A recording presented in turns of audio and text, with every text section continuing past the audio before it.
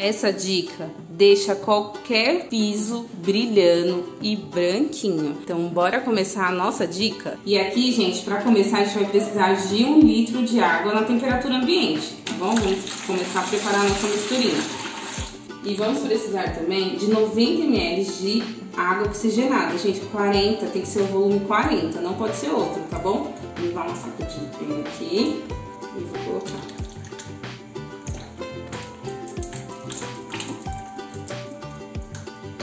Pra não ter desperdício, eu vou colocar um pouquinho de água aqui, ó. Vou fazer assim, né? Aqui a gente vai acrescentar 3 colheres de sopa de vinagre de álcool. Uma, duas, três. E para completar, a gente vai colocar 3 colheres de detergente de coco. Pode ser o detergente da sua preferência, mas para limpeza de chão, eu gosto muito de estar utilizando o detergente de coco. 3.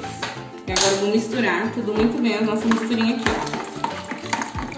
E agora, gente, a gente vai pegar essa mistura e vai jogar direto no piso.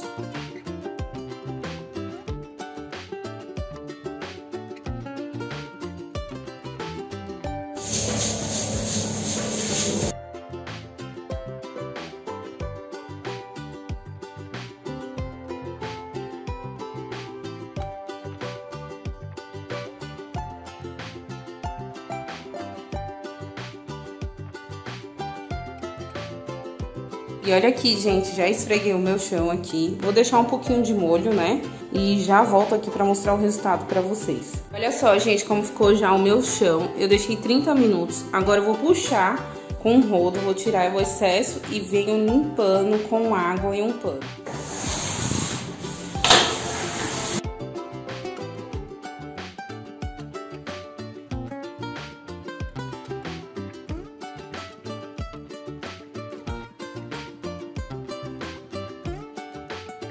Gente, aqui eu vou jogar um pouco de água para o excesso.